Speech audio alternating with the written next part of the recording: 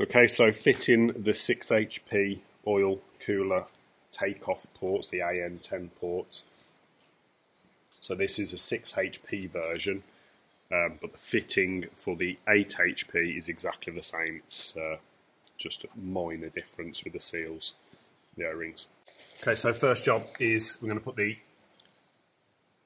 O-rings onto here and they sit in this little recess right at the end. Pretty straightforward. Just drop them in like that on both. So this is the 6 HP fittings. If you've got an 8 HP, the fitting is exactly the same, it's just there's two O-rings here. So you'd put two O-rings per fitting, four in total. Next job is just to slide these in there like that. Nice and easy.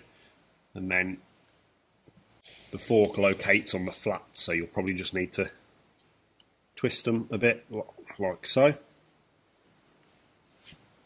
And then we go bolt through, but with the spacer in between. So I'm going to go spacer like that, a bit fiddly, into there like so.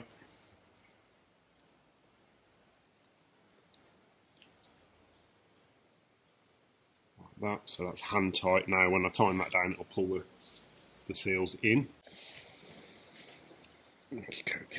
So I'm just tightening that up. And you can see it's pulling the fittings down into there.